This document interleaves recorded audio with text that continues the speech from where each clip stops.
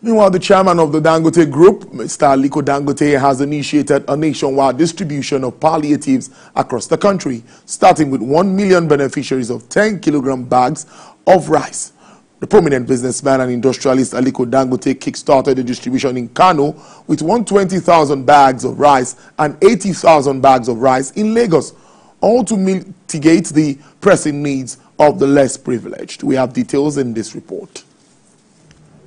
The chairman of Dangote Group, Mr. Aliko Dangote, initiated a nationwide distribution of palliatives. Mr. Dangote says the first distribution will target 1 million beneficiaries and give them 10 kg bags of rice each. Among the 1 million beneficiaries in Nigeria, Kano State received 120,000 in an event hosted by the Kano State Governor, Mr. Abba Yusuf, at the Government House.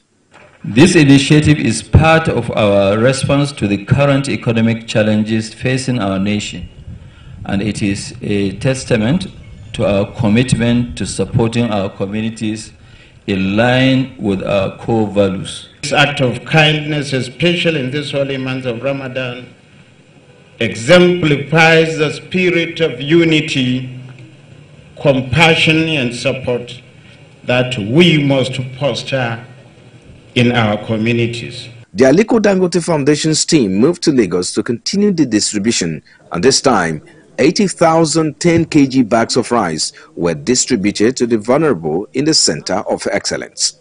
The president of Dangote Group and chairman of the foundation, Mr. Aliko Dangote, says this is another demonstration of the foundation's commitment to upholding the values of compassion and solidarity that are at the core of humanity. He noted that the distribution of rice is in addition to the daily distribution of 12,500 loaves of bread in Lagos. This occasion is for others, you know, of similar minds to rise up, to join, and to be able to stand counted.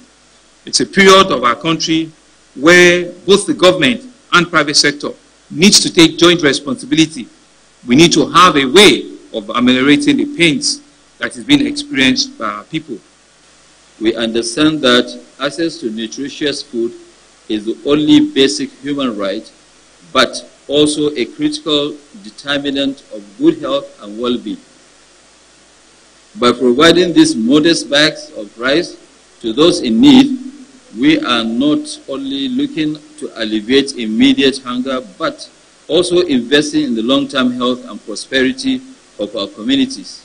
The distribution, according to Aliko Dangote, will not only alleviate hunger, but also invest in long-term solutions for communities across Nigeria.